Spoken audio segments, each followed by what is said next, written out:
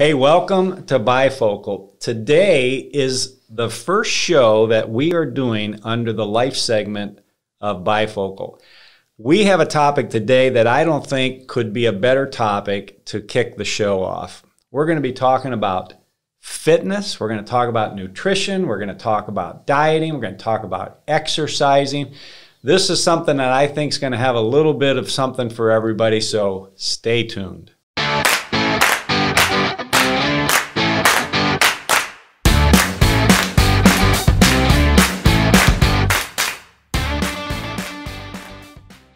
Hey, welcome back. As I mentioned, uh, this is part of our uh, our life segment, and uh, I think this is probably the best show I could kick off this series with. And uh, we have a guest on today, and if you've been watching any of our shows, you might be familiar with him. But we have a guest on that's a, a uh, fitness instructor, fitness coach. He's a bodybuilder. He's been in this uh, uh, environment in this space for many years, and uh, he's going to share a lot of things that I think all of us are going to be able to relate to. So, hey, let me welcome Mark Kavinsky. Mark, welcome to the show. Great, thank you, Dan. Glad Mark, uh, you're the owner of Skull Fitness. Yes, I see you got it on on your shirt. Yep, Skull Fitness. So, how and why did you get into the fitness business, and how'd that come about? Goes back to really my early days. Um, uh, you know, we talk about Arnold Schwarzenegger and seeing the early magazines, you know, back in the 70s and early 80s with Arnold and Franco Columbu and Conan Did Arnold, do you think Arnold kind of really got the bodybuilding thing going? He was very instrumental because he was charismatic. Yeah. That's what did it. He started off in the 60s and, you know, with, with his early shows and he started winning the Olympia back in the 70s. His charisma did it. It put it on the map you know, you go back to Steve Reeves and some of those old the old guys back in the day and stuff too. Good bodybuilders, but Arnold made it more. It was a global icon. He took it from you know something small to more mainstream. And you know, this there was a language barrier. He tried to get into acting. Um, they had to dub him out for the first few movies he did, like one called Hercules in New York. They didn't use his voice at all. But when he got into, you know, Conan the Barbarian, and then started doing Terminator and Total Recall and all these other movies, he just became a phenomenon. Yeah. But he put bodybuilding on the map. He really put it on the map there too. And a lot of us owe where we're at now because of where we started. And then he had his encyclopedia of bodybuilding. And I had that book. And I read that thing from cover to cover when I was like 10, 11, 12 years old. And I think I was like 12 or 13, I got my first weight set. And because I read that book, and because I used to watch a cartoon when I was younger called He-Man and the Masters of the Universe. Oh yeah, and I loved watching you know the characters He-Man and Skeletor. And I'm like, God, how big and muscular they were. And I was excited about that. And I'd go in my basement, I'd lift those weights, and I'd have and I heard about oh to drink protein shakes to get bigger. And I get the protein shakes, and they are so bad and so chalky, and I'm like, oh, trying to get them down.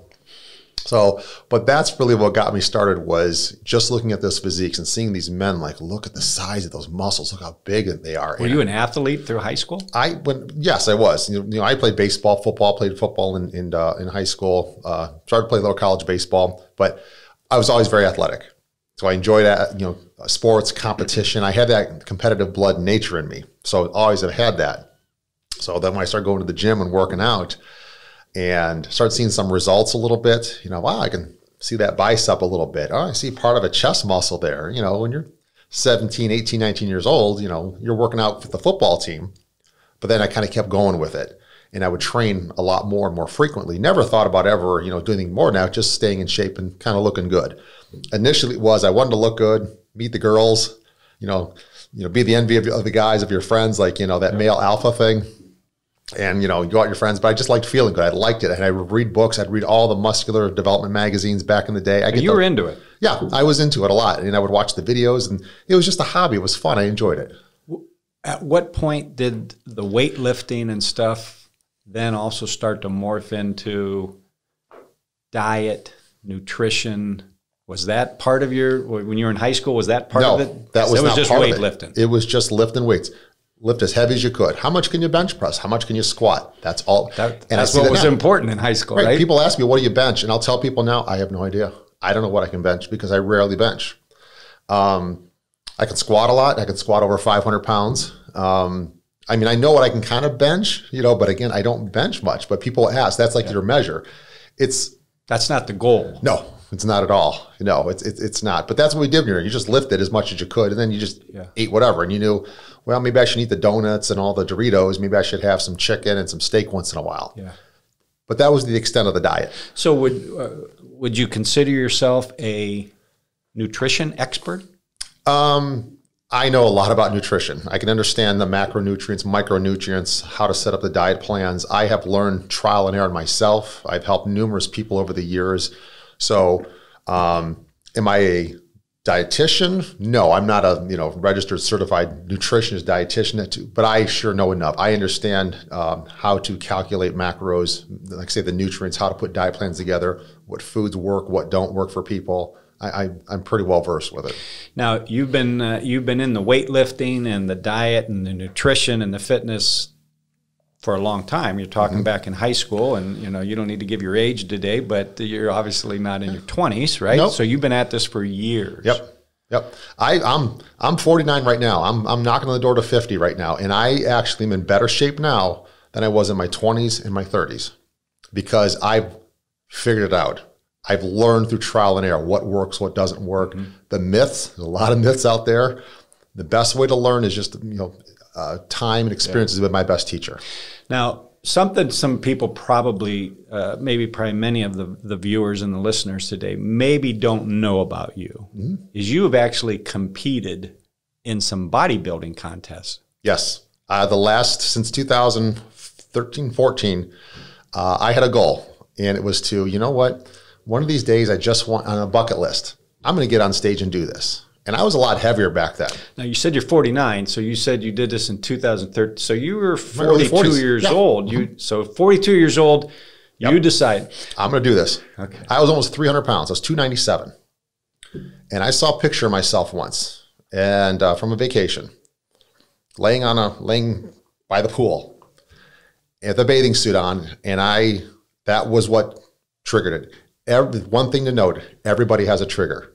That was my trigger. I saw that and I go, I don't want to look like this no more. And I worked out a lot in my 20s and 30s, but once I had a family and kids, I worked out not as much. I was still lifting, you know, but for about seven or eight years there, my late 30s to early 40s, eh, I lift in the off season in the winter. In the summer, I didn't do much. I played a lot of softball. I was still doing competitive things, sports. I was traveling on national teams.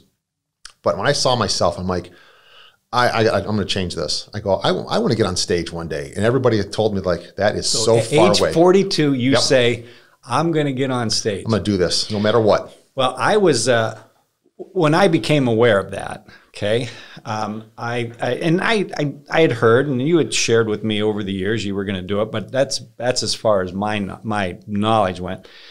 And so, uh, in preparation for today, I went out to Google and I just typed in Mark Kavinsky bodybuilding. Mm-hmm. I thought, okay, well let's let's see what's out there, and I actually came across some pretty uh, a lot of photos, and I thought if you're open to it, I'd like to show some of them and let you walk me through a little bit of this. Sure, I'm, I'm self conscious about it, but go right ahead. So you you don't know what I'm what I'm about ready to show. no, here. no, that's uh, Okay, well, I- I'll, I'll show a photo to you there.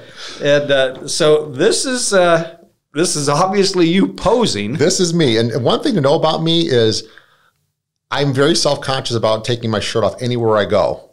And people ask you like, why? I'm like, because I'm just, you know, I'm just self conscious about it. But yeah, this this is me. This is me in a show from uh, last year. Last year, so Yeah. you were 48. 48. Yeah, this might have been a year or two years ago. Um, I've had more development in my legs since then, but yeah, that's probably the last couple of years. Do you want to like right now take our shirts off and kind of see who can? How do you want? I actually could. I'm actually my face right now. If you'll notice, I'm a little more drawn out and gaunt. I have a competition coming up here soon. Season's coming up. I have a show coming, a couple shows for this year, and um, a lot of them have been canceled and postponed due to yeah. what's going on in the world. But I, I've stayed with it for the last 17, 18 weeks. I'm like, I'm going to find some. I've been dieting down. I'm so committed, and I'm like, I'm going to find a show to do, and I found one. So right now, your body is how close to being able to do this again? It's right there. I'm, I'm a week and a half out, so I'm I am down to about five percent, just under five percent body fat right now.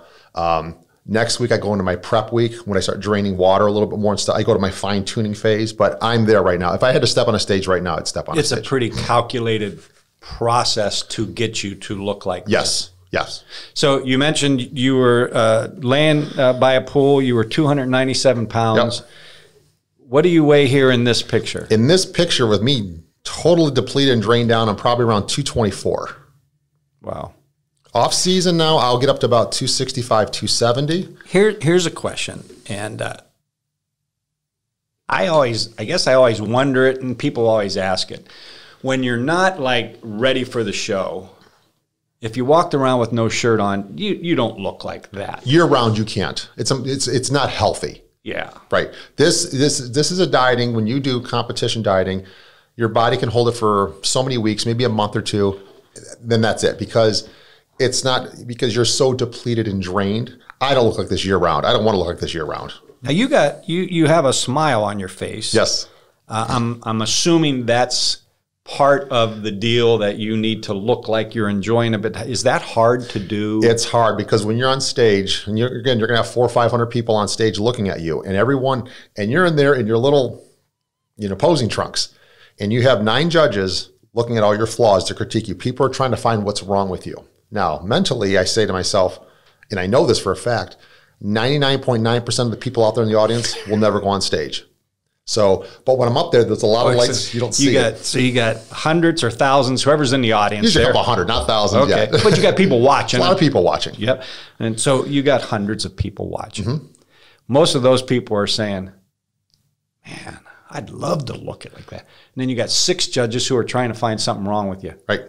They're trying to, they're trying to, and you'll go through your poses. There's poses that you do. So, like you said here, to smile, it's hard to do sometimes because you're very depleted. You don't have any water, you know, in you for 24 hours. So you're up there on stage, and you got to make sure you're not cramping up, and you're holding, you're squeezing the muscle, and it's it's like conditioning. When you walk up the stage, you're sweating, you're hot, You're, but you're beat. but if you're showing that, you'll notice when people will pose, if they're shaking on stage, they're, they're losing control. You have to not shake. You you show like you're in control. You're smiling, and you might be cramping up, Yeah. or you're just like, oh, this hurts, but you don't show it. And when you're on stage, even when you're not posing, when you're off to the side, you have to be in what's called a relaxed pose, but it's anything but relaxed. You're still standing there flared out, holding it the entire time. You have to hold that pose. If you just drop down like this for a second, come back up, a judge who's watching everybody else looks at you and they keep they'll see you. If you and that may take a point off of your total score if you're not in control, basically. Oh, So it's not just muscle. It's it's how you're controlling yourself, how you right. handle yourself. But it's how you're when you're posing. There's certain ways to pose, and posing itself is an art and a skill. It's taken me years to learn how to pose. It's not just you know doing your bicep curls and doing most muscular. Yeah. There's different ways you're hitting angles to see muscles in different ways. well, here, here's a here's another different angle here. Yes, this It's is a my different side angle. This is the side chest pose, and this is one here too, where it's taking me. You know, I can find flaws in this already now that I've changed from two years ago to now. Little ways you're dipping your shoulder, turning your waist. You want to show your best assets, and you have to learn how to pose. So how how long would you spend in front of a mirror practicing these poses? and it's not narcissistic. It's it's part No, of the deal. part of, it's part of the deal. it's every day for the last for the, for the probably six to eight weeks out from a show. It's probably ten to fifteen minutes a day posing. You, because you also have to get that muscle conditioned to pose. It's a different type of way you're contracting the muscle. It's not like when you're doing bicep curls or bench pressing. You're holding the muscles, and then what happens after you go through all your mandatory poses? The judges come out. They're like, you know, we want to run through them again because, and then they start moving you around on stage with other competitors, and we want to see you compared to this person, compared to that person, and they're like, okay, we want to see the poses again, and you are just tired. It's you come off the stage, it's very, very What are you What are you doing backstage before you come out? when you're backstage, you're right there waiting. They have what in the very backstage they have called, called as like the pump room. So you have bands, you have mirrors, you're working on your posing, you're doing sit-ups, push-ups, you're getting yourself pumped up, ready to go. So you're trying to get some blood moving, and Yes. Then they take you the back in the stage before you go on, and then sometimes if you're waiting for the group in front of you, you may lose that pump, and you're doing push-ups or whatever. So if 10, 15 minutes goes by, you're like, I need now to are you, you're doing this with other people that are going to walk on the stage with you. Correct. Is Right. that is that intimidating? I mean, I know you're competing with one another, but are you? Is it kind of uh, you're cheering one another on, or is it? The camaraderie is great. Actually, we cheer each other on. It's Is this not- kind of a is this kind of a, an individual thing too? It's like what It is, but it's also there's a fraternity because all of us know what it took to look like this and to get on stage. We know the sacrifices we made, what it took to die, what it feels like. Uh, It's called suffering. What you went Yeah. through. I know what those guys went through. They know what. I, so there's a mutual respect. You know, I had a I had a similar um, experience, not not bodybuilding, obviously, but my daughter was a a, a track star in high school, Yep. and um, she ran the the 800, and uh, she won. Okay, went to state, all that stuff. You know, there was one particular meet we went to, and uh, she won, and she finished, came up in the bleachers, was sitting with us. She had been with us for probably a couple minutes. There's still a girl running, the last girl. The last girl comes across minutes after my daughter did. The daughter comes up to her mom, is as excited as can be, and says, Mom, I PR'd. PR is Personal record. personal record. Mm-hmm. Didn't she knew she wasn't going to win? It was an individual thing for her. It was a sense of accomplishment. She pushed herself Yep. beyond. Yep. Is this kind of like that? Yes. My very first show. Of course, you go in the mindset, I'm going there to win. Why go through all this to not win? But knowing that I'm not going to win. So, my first show, I think I was in 13th place out of 16 guys. But you know what? I was so excited because I got up there, my family was there to cheer me on, and I did it. And there was this sense of relief after I did it. I'm like, and what I love about bodybuilding and going on stage is the competition. It's the focus and drive. I have a goal to get to by a certain date. That's when the show is. But when after I did that first show, I didn't win, but you know what? That was okay. I, I felt so good as accomplishment. And I'm like, I did it. I did this. And the first thing I said was like, "Are you going to go eat?" I'm like, "Yeah, I wanted to eat something. I was hungry." But then it's like, I can't wait till next year because I'm going to do this again and I'm going to be better. And every year since then, I've moved up, moved up. I've, I've competed in probably about 15, 18 competitions now. And the last couple years, my resume's built. I've taken first place at a lot of shows now, and I've been winning. And I've been moving up from more local to regional to national. So what's level. the what's the group that you compete in? Is it by age or what is it? There's two groups. One is the Masters, which is 40 and over.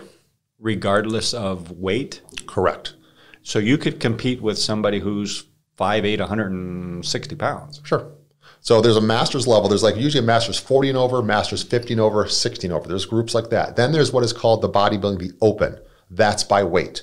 So whether you're a, a bantamweight, a lightweight, a, a, a heavyweight, a super heavyweight, it depends what your weight class is. Then you're with gentlemen or people oh. that are, you know, I've competed against guys that have gotten pro cards, that are pros. I've stood, stood next to guys that have run pro. I'm not to that level in the open because these guys are 27, 28 years old. I'm pushing 50. I'm not going to be a big, huge monster, and I don't want. That's not my goal. But I've been with guys like that, and they might be. I'm 6'2". I'll stand next to a guy who's 5'7", who weighs 220, 225 like I do, and he's just massive. They're just big because Yeah. they're just shorter, more compact. You know, typically bodybuilders over six foot in history, you'll see it's very hard to put a lot of size on because that's a big frame. You know, you look at Lou Ferrigno, who's the Hulk. You know, big man. You know, he put he put a, you know put that kind of size on as well. But typically, most of your bodybuilders, your IFBB pros, your champions, five five seven, five ten, they're kind of in that range there because it's just a shorter, more compact body. All right, so you're laying by the pool, you're 297 pounds. All of a sudden, you walk home from work one day and you walk in, your kids are sitting there at the table, and you say, Dad's, uh, Dad's going to be a bodybuilder. How's that received by the family? Not well. Dad, come on. Dad, did you see yourself in that picture? I mean, come on. Like, how did you lay it out to I didn't at first. All I did was I'm like, you know what? I'm just gonna start going to the gym and working out, and I'm gonna clean up my diet. I started asking friends of mine that worked out a lot, that competed, and I just started piecemealing. I'm like, okay, doing more research and understanding. I'm gonna start, and I knew more. I knew about diet already because I was already helping some people, but I'm like, I need to do it this myself. So what I really got involved was more the science of it, understanding, asking more questions, understanding nutrients and how they work and how it goes together.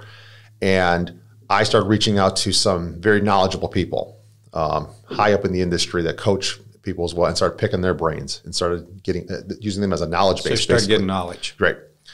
And th- then started getting my own experience. So I started learning how to tweak. And I've learned in the last seven years here now, I know exactly what works for my body, what doesn't. And I can, when I start dieting down, when season comes in, you know, I, I've dropped, you know, 40, 45 pounds for this show. I know exactly how to manipulate my food, my diet, my cardio, everything to get to where I need. I, I understand what foods react what to my body.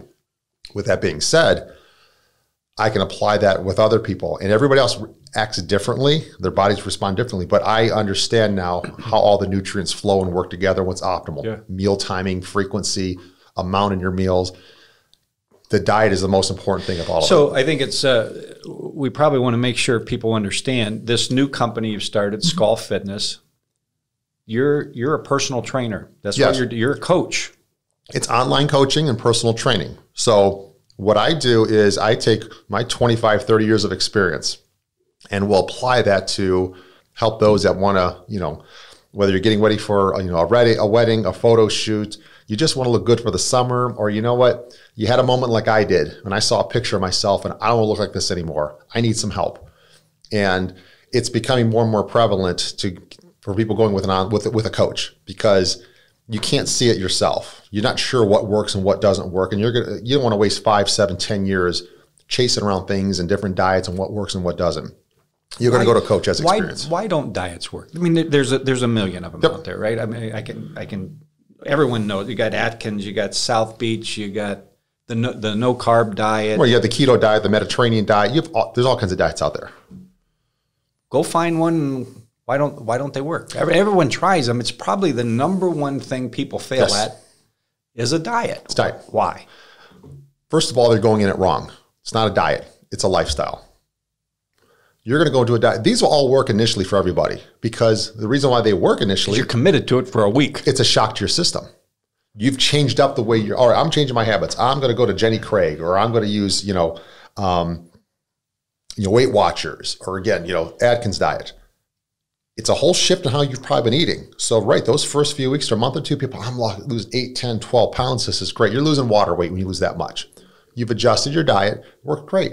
All of a sudden, you hit a wall. Well, this doesn't work anymore. What's happened? People quit, give up. I'm going to move to the next diet. What would be some of the walls people would hit? they'll just stop losing weight.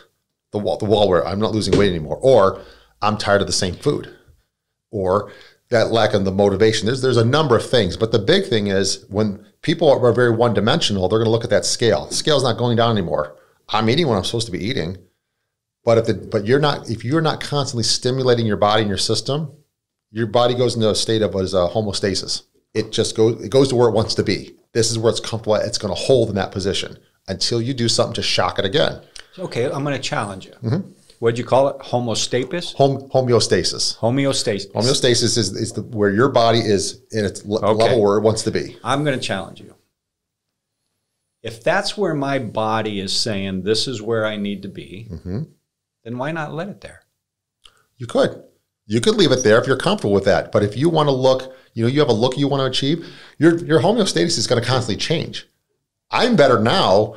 When I was at 297, sure I was comfortable eating mm-hmm. burgers and having a good time. I, my body was comfortable. I reinvented, I recompositioned my body. Now it's to a point like this is now the new normal. This is the new homeostasis for me now because now I'm comfortable with this. I like how I look. I like how I feel.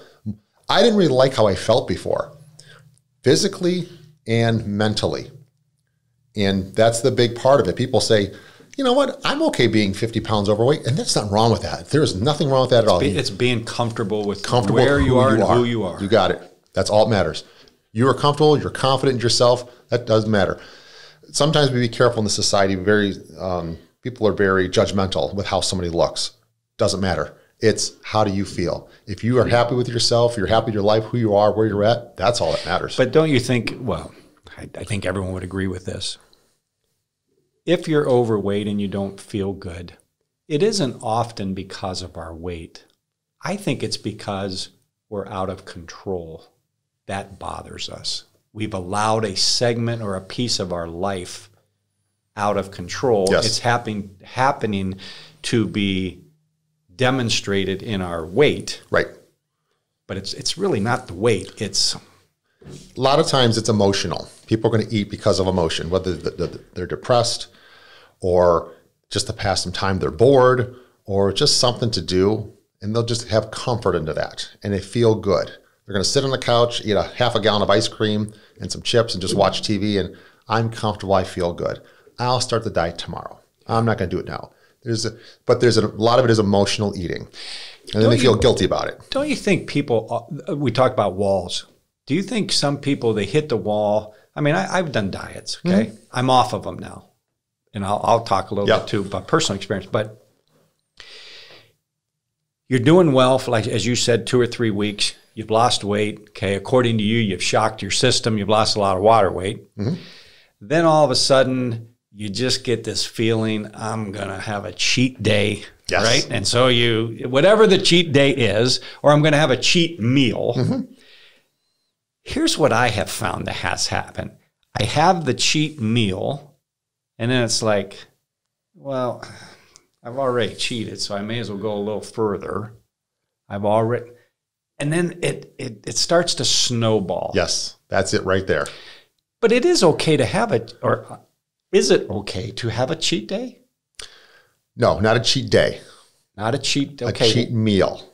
A cheat meal. Yes. Okay. What I do is when I, if I'm training and coaching somebody, you're working hard all week, and if I see results, you'll get rewarded for that. If there's no results, if you end up gaining two pounds that week, why the heck am I going to give you a cheat meal? You didn't earn it because you're looking for that. It's like, boy, that I, I you know I want to have a burger and fries on Saturday night or something. Okay, let's see how you're doing. But I call it a controlled cheat meal. You know, sometimes I'll allow people saying, you know what, for that meal, eat what you want. All right, Here's a question, and I don't know the answer to this, but Mm-hmm. I've often wondered. I'm dieting. Mm-hmm. I'm doing well. I'm type, talking hypothetically. Okay. I'm doing well, and I have a cheat meal. Yep. I actually go to Five Guys and I have the Get- double that bacon. burger- oh, absolutely. right? Load it up. I do. Okay, and I got some fries and they're greasy and they Love it. okay, and then I got a diet coke. Right. Yeah, let's I- get the Diet Coke in there. Sure. Yeah, I, I don't know why I do that. Okay, but regardless, how bad is that actually hurting my diet? It's actually benefiting you. Okay, so I'm, I'm going to make sure I, I, I hit this. Yep. All right, so I'm dieting.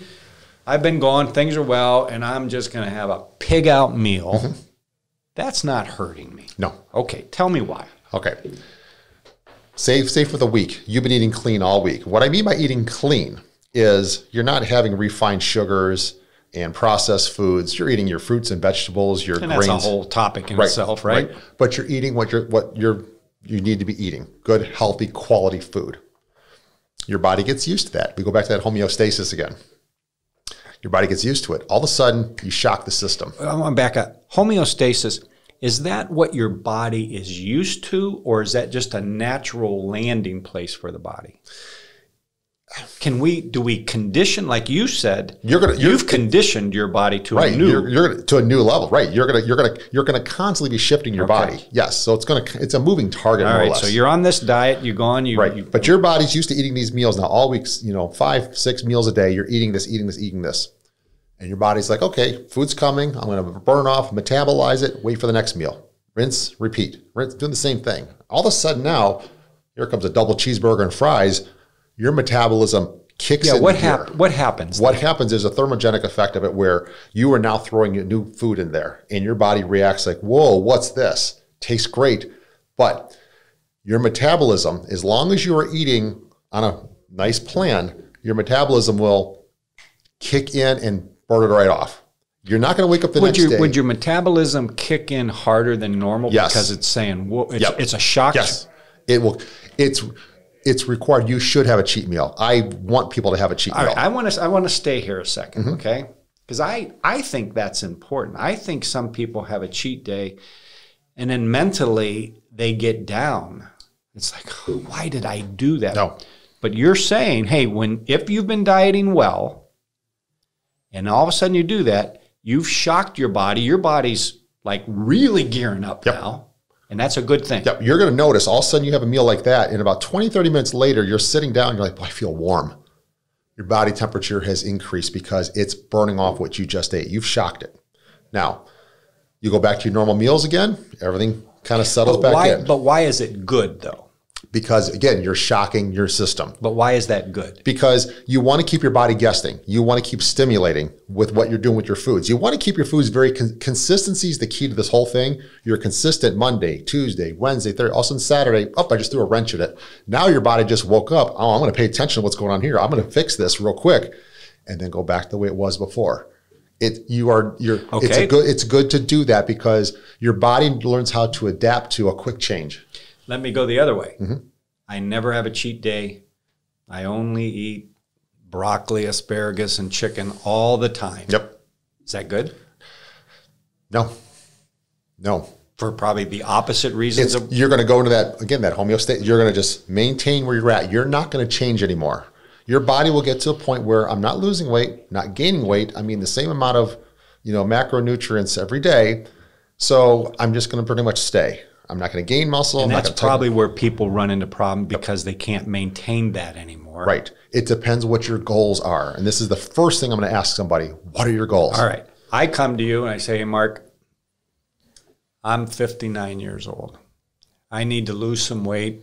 I, I don't want to look like that, but I want to be fit and I want to be on a good diet. How, would you just prescribe one of these diets to me or how would you work no, I'm going to I'm going to interview you first. Okay. I'm going to find out what have you tried in the past? What works for you? What hasn't worked?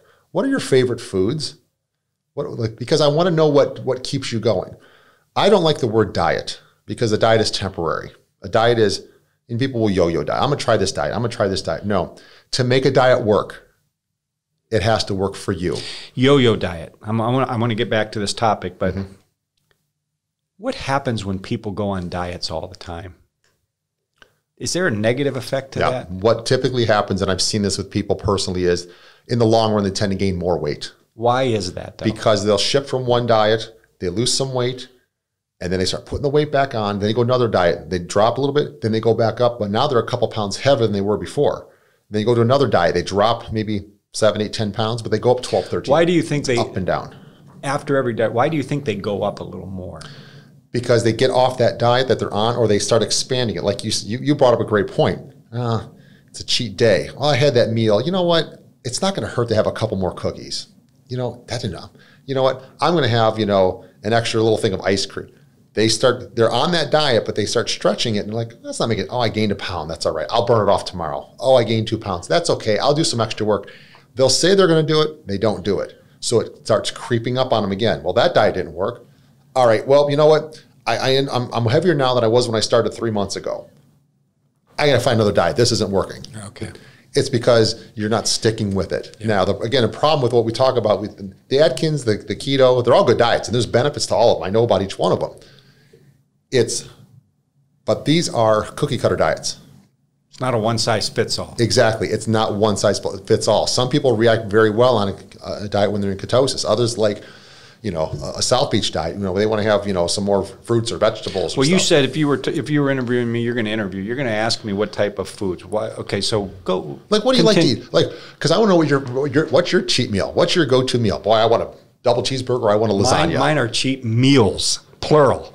Okay, what are my cheat meals? Let's make sure we understand right. that. I'll ask people, you know, do you like oatmeal? Do you like rice? Do you like sweet potatoes? You know, some people are like, I don't like fish. Okay, because when I'm going to design a, a, meal plan for you, I'm going to take things out. If you're not going to eat it, why put you on a diet that you're going to dread? Because what's going to happen is in two to three weeks, you're going to jump off that diet and this whole thing's a failure. So I need to find out what food you like, what All food right. you don't like. So what you're saying is these diets they're they're they're they're cookie cutter diets, right? Yes. There's certain foods they're recommending. Mm-hmm. I may not like those foods, so the diet probably not long term for me. Correct. You're saying, Dan, I'm going to sit and talk to you. I want to understand you personally. I want to understand what types of foods you like and you don't like because you're going to build a diet around food that I like. Right. Now, I granted, I can't eat chocolate cake all the time. Sure, would love to, but I want you to be successful. In order to be successful, yes, we have to make a change. You have to commit to what I'm telling you to do and dedicate. But I'm also not going to say, you know what, you're going to live on chicken and rice and broccoli for the next three months. I guarantee that diet's going to fail. What if I said, Mark, I got to lose 10 pounds by the end of the month? Well, then we're going to do a lot to restrict your calories to drop that out. Is that healthy? You're going to lose water. You might lose two pounds of fat. You're to lose the rest in water. So I may be able to do it for an event. Right. I got an event. I got a, I got a school. I got a 25 high school, re, 25 year high school reunion. I got a wedding. I'm to look good for. I need.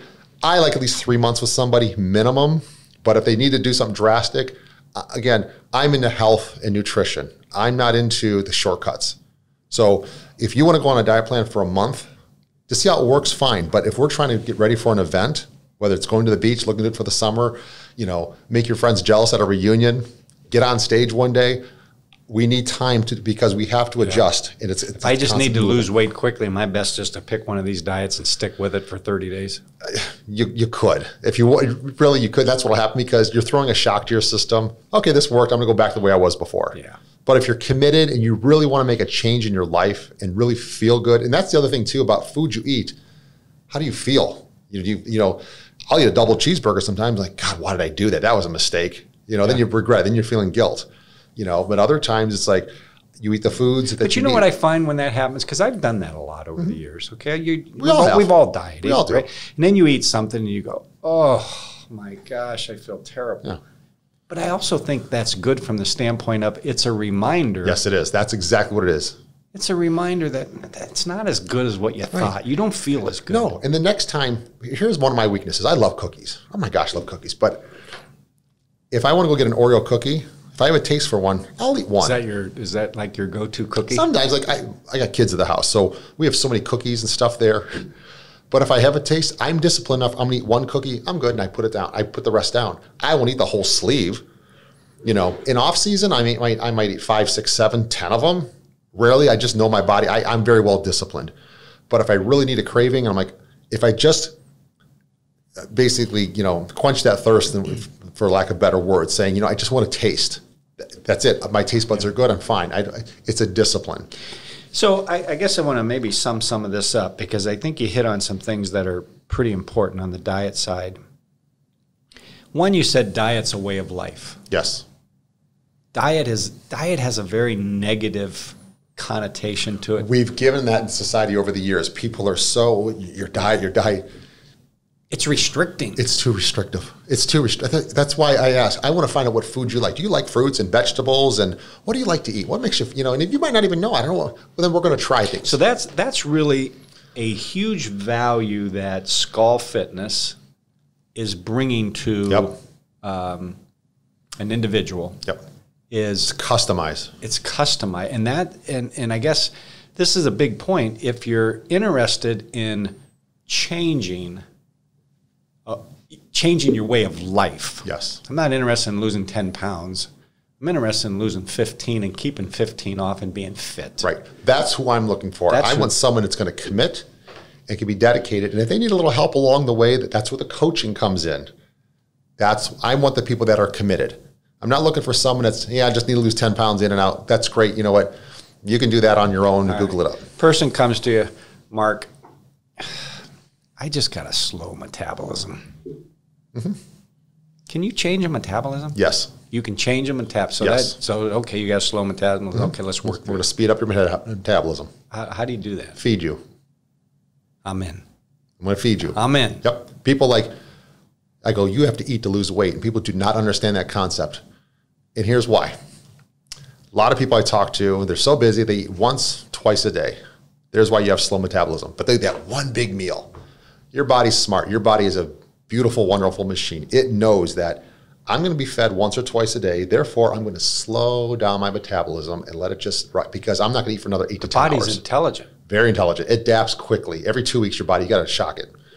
Now, if I tell the body I'm going to feed you five, six times a day, people are like, whoa, whoa, whoa, I'm going to get fat. No, you're not, because I've got certain size meals that are portioned out every two, three hours you're going to be like eating. what types of food would you would you eat in like that type of well it's going to be a mixture. We're going to have between your proteins your fats and your carbohydrates. Okay, so it's pretty structured. Pretty structured. So your proteins whether it's meat chicken fish you know lean ground beef turkey eggs you know things like that or we're always having a protein source every meal. We go to your carbs. Are we looking you know and again healthier carbs. Depends where there's like a glycemic index on what you know potatoes oatmeal you know um, you know oats and you know fiber things like that that will have you know for your carbohydrates And then you get your fats, and people are afraid of fats. They're like, oh, I don't want to eat fat. Fat means I'm going to get fat. No, you need essential fats, essential fatty acids in your system because that's what makes everything go around. That was the last part that I had to finally figure out was the part with the fats. You've got to throw the right ratio of fats into your food. And you balance your meals out. And now I'm eating more frequently. Now I'm getting to three, four, five times a day. Now, people will ask me, I don't have time to eat five times a day. You have 30 seconds to drink a shake. You sure could. You can have a you can throw a quick meal replacement in. You know, if you're driving somewhere, you don't tell me you don't have. 30, How do you feel seconds. about the, the the the shakes and the the replacements and that kind of stuff? Most of the shakes out there, it's just a marketing tool. You have to look at the quality of the ingredients, and you once you learn how to read labels, and I'm expecting you, I'll, I know which ones are good. Once you learn what's out there, then you're going to spend a little bit more on a quality. It's basically you have to spend a little more on your quality of food. Do I want a good quality meat? I want the, just the cheap stuff that's left over, and that's well, that your body's going to respond to the cheap stuff. You know, it's like okay, fine, but it's going to respond to a better quality food. You know, better turkey. Maybe it's if it's grass fed. You know, you know, are there hormones in the depending what how, you know what you you're investing in yourself. Okay, so you give yourself high quality food just like if you get like a, a, a, protein shake, for example, it's a higher quality of a whey protein, and there's different combinations, there's different ingredients. Some of these use a lot of fillers in them. You're like, oh, I'm taking a protein shake, I'm good. Yeah, but that's the, the protein you're taking is not a very good. Pro- you're gonna, if you're lactose intolerant, you're gonna your stomach doesn't feel good. It's like, oh, that, that it's a bad quality. You want something that you feel satiated, that you're gonna feel full, and you know you're not gonna live on shakes all day. But if every once in a while you gotta get a shake in there just to get a meal, you, you go right ahead. I do it with people all the time. Just a quick meal they have, you know, whether it's a shake and an apple or a banana or something, that's a meal. We, I've got something set for you. But going back to the original question, how do I speed up my metabolism? I'm going to feed you, feed you more, and that's going to speed up your metabolism because now your body is, wait a second, I'm going to eat again in three hours. I got to burn this off. I mean, the body's actually that intelligent. Yep. You have to give it a, it's good four to six weeks. Those first two weeks, it's going to be like, yeah, I'm not sure. But all of a sudden, it kicks in, it learns. Would It's somebody learned. gain weight in that first two or three weeks No, no, because they're eating different foods? Well, because it's, I don't like to count calories. I think it's a very ambiguous term. I count macros. I want to know what your protein, fat, and carbs per meal are. Calories, there's a debate all the time about this. Misleading. It's very misleading. 2,000 calories of Oreo cookies is not the same as 2,000 calories of rice and chicken. Oh, it's calories in, calories out. No, it's not. It's the quality of the calorie. You know, so if I want, you know, I have some chips and some cookies and a burger and I'm getting 3,000 calories with all that stuff, you know, a nice sloppy bacon burger, sure, it's 3,000 calories. But I've got 3,000 calories the other way. It's much better. Your body becomes more efficient. So you're eating quality foods that your body can burn off, that it can utilize those nutrients for the rest of your body. You can't build, you can't strengthen muscle, get lean muscle eating garbage food. You're gonna you're gonna become what you eat. You are what you eat. You know the saying. So if you're having good quality food, meal t- timing at certain times of the day, and there's certain times to eat, you know, that are, that are better than others. If you depends if you're working out or not working out. You know, there's myths about do I eat carbs at night? And so there's all kinds of stuff. But you, your meal frequency. So we're going to put you on a diet that it's going to be you're going to be eating caloric wise less than what you've been eating because we want you to lose weight, but you're going to eat more frequently. So you're not going to feel so hungry. And your body will, after about a week or two, you'll have the hunger pains. You'll adjust to it. Your body will, you have to give it time to adjust. Very interesting um, listening to you talk because, um, you know, I've been in business all my life, right? Own my own business, own a couple businesses. And in business, you have a goal, you have a strategy, you have some objectives for your business. And then as a result of that, you start marketing your business accordingly. You start doing the things you need to do to move your business down the path you want to go. Listening to you, it's very similar. Your body's a business. Yep. You just said it has intelligence to it, right? And it adjusts. And if my goal for my body, if my goal for my life, if the objective for my lifestyle is I want to feel good, I'm, I'm being hypothetical, but I want to feel good. Um, I want my clothes to fit. I want to be able to go into the store and just be able to get something off the rack. Yeah. Okay. Um, I uh, I want to I want to I want to be active. I want to be able to move. Then you have to do things accordingly, and you can't just take something off the shelf. It's not you know it's kind of like software. This software might not work for you, but it works for them. That's the value I see you bringing to to an individual. You're kind of that marketing arm. You're yeah. saying let's put a plan that fits you. Yep. Because I think the opposite of that is if they don't take the time to work with somebody like you, they could be going through a lot more time, effort, yes. and lack of results. And I did that myself too for years. So you're you're proof of that. I'm proof of it as well too. I've done the same thing. I thought I could do this myself. So go hook up with somebody yep. who knows how to, and that's what you did. You you said you know 20 minutes ago. I went out and sought advice. Yep. I went to the top of the food chain. I've been to seminars. I've gone to training. I've traveled around the country. I've met a lot of people. I've, I know a lot of people in the industry that are very, very credible. I've learned from them for years. So I now have that information that I am now downloading and providing to other people. Yep. So, and what I've learned again is it's individualism. It's customized. Everyone I think that's the key you're hitting on. That's what I'm. That's what I'm getting from right. this. Is hey, th- these diets are on the shelf. Okay, you want to lose 30 pounds for your class reunion? Go get one and do it for 30 days. But if you're looking for a way of life, then we got a custom. I, I really liked what you said. I want to interview you and I want to see what kind of foods you like because I got to put a plan together that your lifestyle is going to stick. With. I need to know do you have medical issues and conditions? You know what? I got heart arrhythmia. I've got I got food allergies. I can't have nuts. I, am gluten intolerant. I need to know those things. I need to build a, build that profile up of you. So I go through a questionnaire. I need to know that about you. Tell me, tell me about your workout history. I used to work all the time when I was younger. In high school, I was this and that. I was an athlete. Okay, you got some genetics. I'm not a doctor. You know, purely what I'm giving is advice based on experience. You know, so don't come after me saying that didn't work. But again, with a coach, someone who pays attention to you is going to make you know, once we get you on a plan, expect there to be adjustments. There has to be adjustments because we got to find out what's working for you, what's not working for you. We all of a sudden three weeks into it, it's like, hey, Mark, you know, this is happening. I'm not feeling well. Okay, you know, we got to change it. What did we change? What did you do? And I need people to tell me. You have to be honest with me. What did you do differently? Did you eat something differently? What I find a lot is people don't tell me everything. Well, I threw ketchup on that. A lot of ketchup. I added more condiments. Those are that extra 50, 100 calories here and there well, you just added 500 calories to your diet today because I need to know everything that's going in your mouth. I'm sorry, but that's the truth. You know, are you eating 50 packs of Splenda every day that I don't know? Like, oh, I'm just putting Splenda on my stuff. I need to know that because if all of a sudden I'm trying to solve a puzzle here and you're not giving me all the information, yeah, I can't fix this. And then you're going to be like, well, Mark, you didn't fix this for me. You didn't give me everything I needed to know. I need to know what happened. So once you're honest with me, hey, you know what, Mark, I had a bad day today and I, I ate something else you know what? It's okay. We're going to get you back on track. A coach is going to be there for you to say, that's okay. I want to be in the back of your head, just knowing that I'm going to, we're going to take care account- of this. It's an accountability partner. People, when they have a coach, all of a sudden now they're like, it's not so easy having that second or third cheat meal in a day. As you said, a cheat day earlier. Uh, you know what? Maybe I would put that down because I got to do a weigh in tomorrow. And if Mark sees my the, the weigh in, I'm like, oh crap. Then I'm going to be, uh, yeah. maybe I shouldn't do that. I'm going to know. Yeah. You know, so again, when I talk about customizable, as your body adjusts, we got to readjust it again to get to where you want to be. And then it's, we maintain that. I work with a lot of women too, a lot of females, biggest ones because I want to put that new bathing suit on. I want to look like I did when I was 25. You know, and you can do that. You can darn do that.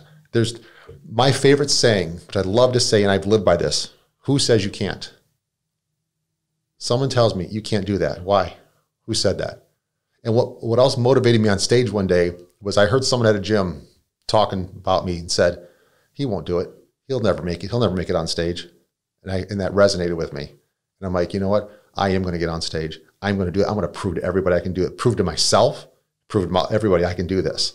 And people I hadn't seen for a couple years looked at me. They're like, oh my gosh, what happened to you? Like the transformation. And I said, I just changed my lifestyle and I'm so much happier. I feel, and I feel 10 times better than now than I did 10, 15, 20 years ago, easily. And if I can add more years to my life, I get my kids and my grandkids, you know, God willing that too, and I get to spend more time. My quality of life is better now. Absolutely, this is worth this. And this is going to quality of life. So if I can be the slightest bit of an influence on somebody to make your life a little bit better, a little more positive, you wake up in the morning, a little jump kick in your step. And if I had anything to do with that, that's worth it to me. I made I made a difference for somebody. There's many people that I made differences for. And every time I hear that story, it is the most humbling thing I ever hear because I like to know that I've changed somebody's life for the positive. I've given you more time with your family. I've made you feel good about yourself, you know, mentally, physically, whatever it might be. So that that's the reward there too. I think also, and, and you can correct me if I'm wrong, but if you're going to diet, whether you're going to do one of these canned diets off the shelf mm-hmm. or whether you're going to get a personal trainer, it's really it's not harder to have a personal trainer. It's just a different, more customized approach. Right. If you really want to make a difference, you really want to change your life, that you've said, and I mentioned the word trigger. That's it. I've had enough. I'm ready to make a commitment. What are some triggers you've seen from people? Everyone has a different trigger. The biggest one is when they look at themselves in the mirror one day and they just look and they're like, I can't do this anymore. I don't look like this anymore. That's the biggest one. There could be a death in the family. Someone who's had diabetes, someone who's overweight, they've lost a loved one, and they're like, I don't want to be like that. Now they're a little nervous. I'm nervous now. They had a visit with a doctor. The doctor scared them. You know what? You're getting blockage in your heart. You're out of weight. Your cholesterol's you're high. You're considered obese. There's a wake up call. Someone who's been smoking half their life, drinks a lot. And again, the doctor tells them, you got 10 years if you don't knock this off. There's got to be a trigger and there's many, many, everybody's different. There's a thousand different triggers out there.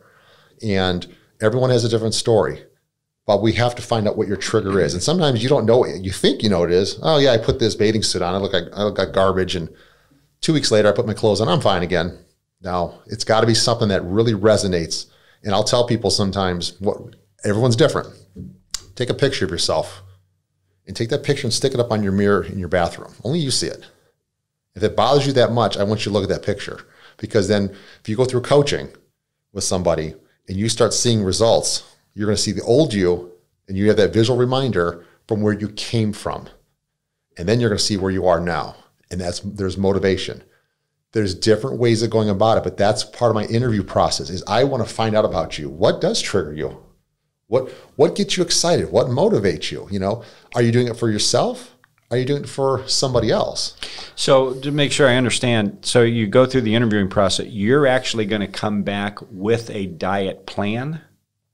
Yep. So you're going to put together the diet plan. Yes. Once I go through the questionnaire with you, um, you know, typically I'll email a questionnaire. I want to know all this about you. And there's some questions I'm not sure about. I'll contact. We'll actually have a con, uh, actual contact with you if I'm not sure about something because I want to make sure I'm 100% clear. I want to know define what your goal is. What is your goal? Why do you want to why do, why do you want to lose weight or why do you want to get in shape?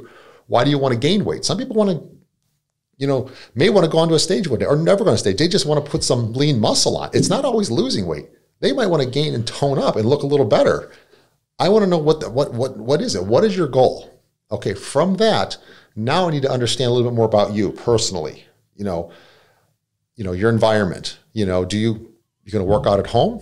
Are you going to go to a gym? Some people are intimidated by going to the gym. Okay, we'll we'll take care of that part of it at home. There's ways around it, but then I'm going to customize a diet plan based on your your height, your weight. There's metabolic. There's numbers. There's yep. formulas I'll put together. Sounds cookie cutter at first, but we start. It's a starting point, and then as of two weeks, as a month, two three months goes by, if you're sticking with me, now we're going to adjust that. Now we're going to start shifting around, and you'll find your diet from what it was from day one to this six months later may have vastly changed. Would would somebody come to you and say, "Hey, I want to lose X amount of weight by this time"? Mm-hmm. Somebody else could come to you and say, "I'm not really interested in losing so much per week or so much per month. I want to lose weight, but I just want to lose it in a healthy manner." And I want it to stay off. So a particular goal may not be as important. Could you have both of that? Yes, I like that one because I'm looking for. I, I, I tend to bring on the clients that are dedicated and committed. I want to be like this, and I want to stay like I want to stay a certain way, and I want to maintain. So whether I lose term. five pounds a month or three pounds a month, right? But I want to I want to stick with a plan. I want something that works for me. So that's where we look for the long term. It's like you know what, join As on part board. of your interviewing process. Yes. I want to know about you. I want to know what you're looking. That's why I want to know your goal. You know what? My goal is just to look good for the summer, and then in the winter I'll fatten up again, and then next summer we'll go through it again. Okay, if that's what you want to do, we'll do that. If you're looking for a long-term healthy lifestyle, all year round, you want to feel good. You know, not only physically, but mentally, and you want to feel good. Then let's Yeah. let's adjust for that. I think maybe one of the other values you can bring into an individual too is challenging their goals. Right, and it depends on the personality. Yeah. I've I used to be a football coach for eight nine years, so I used to coach you know pee wee little kids as well too, and even the older ones. Everyone is different. There are some of those kids I get right in front of your face and say, "What are you doing? You better get out there." Others are okay. Let's take a step back. Let's think about this. What what could we have done better? What how could we have resolved that differently? Because people with conflict and resolution handle things differently. So I needed to get into your psyche a little bit too. I need to know what again triggers again. I need to know what's working for you. I need to understand you a little bit more. And this is this is higher level coaching now. This is more than what you're going to get. You hire an online coach, and they're just going to send you a here's your diet plan. You know, send me a photo once a week, and we'll let you know where you're at. I'm a little more customized. I want to really get to know about you. I'm developing that relationship because because I, I That's an accountability partner. it is. So right. So if somebody, you know, there's people that really need, you know what, they need the aggressive in your face. Go, go, go, go. Come on, come on. That's not enough. You can do better. You want to be better. interactive. Right. Others will like, no, I don't, I don't want to coach in my face. I just want to say, hey, I just need to be, I need some guidance. So am I going to be in, in you more? I, accountability. Why did you miss your session today? You didn't do your cardio. What happened? Is everything okay? People will come up with 101,000 excuses. Well, I was late to work. Well, the kids did this. Well, I did. I understand life gets in the way, but this is about you. You need to make time for yourself. There's too many people that, and it's not as a bad thing, they make time for everybody else. There's moms that are busy, they got th- two, three, four kids. They got a household, they got a job, they're trying to keep the house. I don't have time to work out. Yes, you do. You do. Whether you got to get up a little earlier each day, or you tell that your husband or your spouse or someone or your partner, I need, you know, 45 minutes to myself every day because this is for me. Yep. Mental well-being, taking care of yourself, it's important. Yep. You gave us a lot to think about. I mean, I I think if if I'm listening, and you know, I I I like to be as fit as anybody else, right? I, I, I like to diet, but I don't like. I mean, I like to eat too. I'll do. I think you gave me a lot of things to think about. You know, one was uh, it's a way of life, and I think people say that a lot when they're on a diet. You know, here's one for you. People get on a diet, and in two weeks, they think they've mastered the world. This diet's this is the I'm gonna yeah I can do this for Hear it all the time. Right. Post And- on Facebook, social media. This is it. This Right. did it. Right. all the time. and we know there's a million diets because people don't stick to them. Right. I think the way of life is something people have to comprehend. That's the only way it's going to be real. And I think you you touched on that heavily. I think I got I gathered that from it. I think another thing you hit on that was pretty important for me was if I'm going to go on a diet, I want to lose weight. Why not talk to somebody who's going to customize that to me rather than pull something off the shelf at Kroger's? Right. right? I think that's important. And I think the why it's important because you hit on a couple things that I think were very important. You want to spend time with me and you want to talk about the food groups that I like and my lifestyle because you want to tailor a a nutrition plan around food groups that I'm going to stick with. I think that's important because if it's going to be a way of life, I have to be able to sus- to sustain it. That's the point is to sustain this. I'm not looking for a 30 day fix. Okay. Yep. This is not a marketing gimmick. It's a way of life. So you could say, Mark, I really love fruits or Yep. vegetables, or then we're going to have something built in with that. Oh, I think that's key. you know, we need to know what, again, what's going to work for you. Ab- absolutely. And I think the thing you spent some time on, and I'm glad you did, maybe just from a personal uh, understanding of my own, was cheat. I said cheat day. You quickly said cheat, Cheat meal. meal. Okay, but, but that's important, right? Sure. It's a difference between a cheap meal Yes, it is. and a cheap day. Yes. But you said, no, that's actually good for the body. Yes. And you explained it.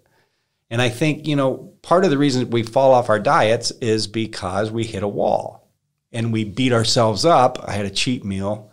Eh, I may as well snack tonight then because I Now you're getting to the emotional part of all this. Yeah. Yes. So here's what I'd like to do. You you brought so much more to the table than I was planning today.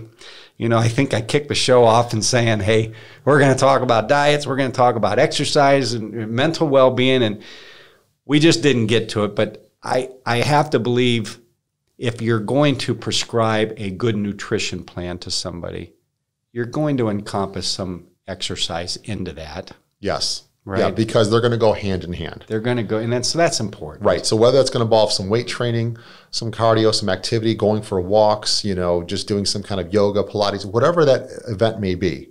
Yeah. We need to. We'll touch upon that because this, it all. To me, it's a three. Uh, a three-headed or three a triad of, of, of three components because there is the diet, there is the the physical part of the training, and then there's the mental, which is the emotional and health. They're That's a all big part. important. It's important, but one thing I've noticed in in my travels, in my experience, and studying cultures and around the world and diets and all this other stuff, one thing I noticed that does it rarely is touched upon is the mental side of this, the mental aspect and the emotional health. We're talking about okay, well, here's a diet and here's your workout plan. You've hit two. I'm here to hit the third. I want to know how you're feeling, why you're feeling that way, what's causing this. I think it's important to point out this isn't your full time job. Right. This That, is my no. that This, picture we showed, right. This is what I did on the side. you did that on the side. Right. I have my own other business that I run full time that I've had for 15 years. You're a bit, you're a business owner of yes. a business. Yes, I'm a business owner. This is my hobby. This is what I do on the side. And for me to commit to myself, I don't miss a workout. I don't miss cardio, especially when I'm in competition season. You know, I'm so disciplined where I don't miss a meal. I eat exactly what I'm supposed to eat. You know, off season, I have a little more leeway. Your body's the way it looks now because of what you're eating and your activity level. That's the way it looks. That's why it looks the way it does now. People may think, well, I'm more active than what. No, your body is the way it is now because of what you're doing to it. You want to better it, you want to strengthen it, however you want to do. We have to go above and beyond what you're doing now. Very good. So are you willing to come back?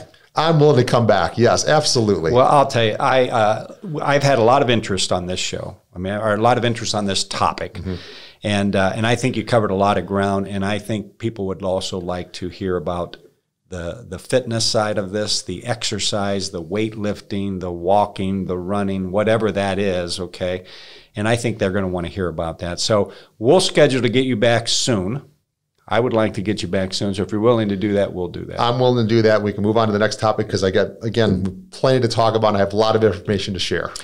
people want to reach out to you. How do they reach? How do they reach Mark? How do they reach Skull Fitness? The best way to read through Skull Fitness is you can email me at mark at skullfitness.pro.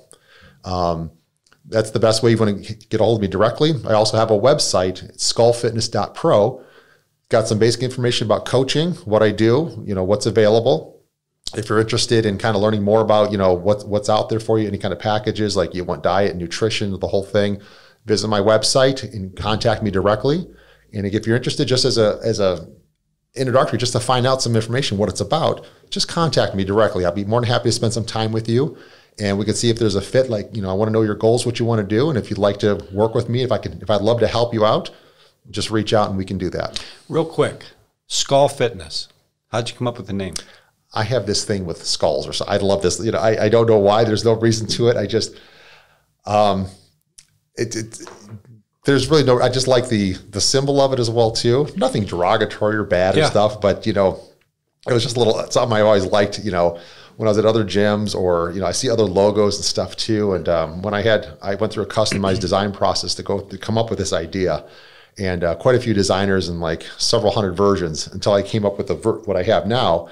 And I had the designer, um, when we, we came up with this with the skull with the barbell, but when he put the originally was just a male that was in here, just a man doing a, a, a biflex, a, a flexing pose. I go, but I also can cater tor- towards women. I work with women as well too, with females. I go, we got to do something about that.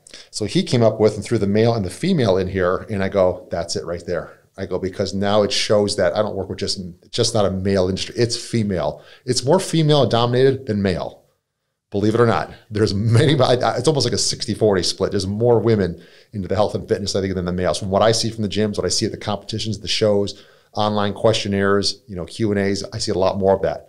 So I want to make sure this encompasses that. I can help any age from teenagers up to people in their 80s and 90s, but also on both sides of the coin because men and women physiology, the physiologically are different as well too.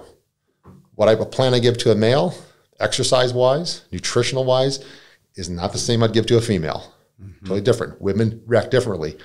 Differences between testosterone and estrogen and how the body reacts. And if you have women that are going through premenopause or menopause, their body's shifting and changing. We have to adjust to that. There are men that, you know, they're early 20s, late teens, early 20s, testosterone's running rampant. As you get older, 30s and 40s, your testosterone drops down. Things change your body. So we have to have a diet accordingly that's going to fit and process that for you. Your diet from a 50 year old is different than a diet from a 20 year old. So it's a lot of customization as well, yeah. too. There's Once again, why it's not a one diet fits all. Right. Right. Well, hey, thank you for coming in. I, I personally have enjoyed this. I'm sure the listeners have as well. We will get you back soon. We'll talk about exercise. We'll talk about the mental well-being of this, and uh, we'll keep this we'll keep this topic. Sounds great. Thank you so much. Thank you. Hey, thanks for listening in. Uh, this was a great show. Uh, I I got personally a lot out of this show. I'm I'm hoping you did too. If you want to hear more like this, stay tuned. Hit subscribe. We will have Mark back again. Um, if you like shows like this, let me know if you have other topics, particular uh, subject matters. Reach out to me, send me an email, dharsh at danharsh.com. I'll make sure we get those subject matters on the show. But hey, thanks for tuning in, and uh, we look forward to having you back.